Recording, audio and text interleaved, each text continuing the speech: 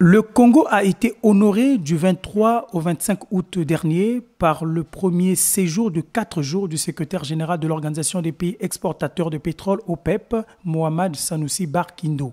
Ce dernier et sa délégation étaient accueillis le 22 du mois en cours à l'aéroport international Mayamaya de Brazzaville par le ministre des Hydrocarbures, Bruno Jean-Richard Itois. Le lendemain de son arrivée, l'expert pétrolier nigérian a été reçu dans les locaux du ministère des Hydrocarbures pour une séance de travail. Au cours de cette rencontre, Mohamed Barkindo a fait porter un pins au ministre Itoa pour symboliser la désignation du Congo à la présidence de la conférence de l'OPEP en 2022. Une responsabilité qui incite le gouvernement congolais à favoriser l'investissement en vue de l'amélioration de la production pétrolière estimée à environ 350 000 barils par jour, puisque les revenus pétroliers contribuent à près de 80% au budget de l'État.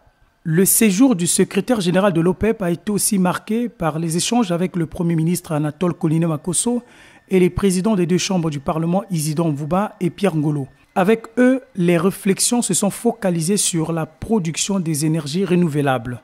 De suite, l'hôte du Congo a effectué le 24 août une visite à la Société nationale des pétroles du Congo SNPC qui compte sur l'expertise de l'OPEP pour former son personnel et améliorer ses capacités de production et de traitement des produits d'hydrocarbures.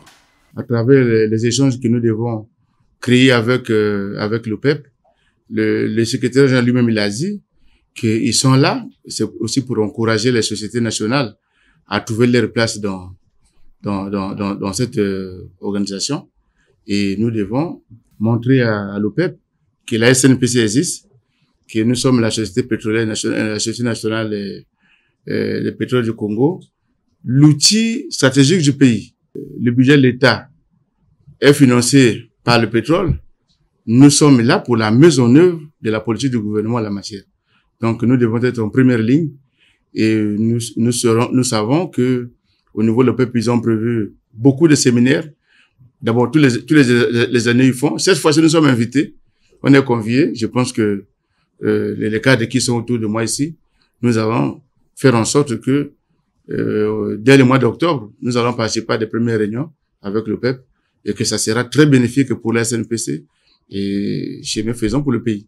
Après la SNPC, le secrétaire général de l'OPEP s'est rendu le même jour au siège de l'Organisation des producteurs de pétrole africain APO, qui a pour mission de promouvoir et renforcer la coopération énergétique entre les pays. Au sortir de cette descente, Mohamed Sanoussi Barkindo a fait le point de sa mission de travail devant les professionnels des médias à Brazzaville, aux côtés du ministre Bruno Jean-Richard Itois.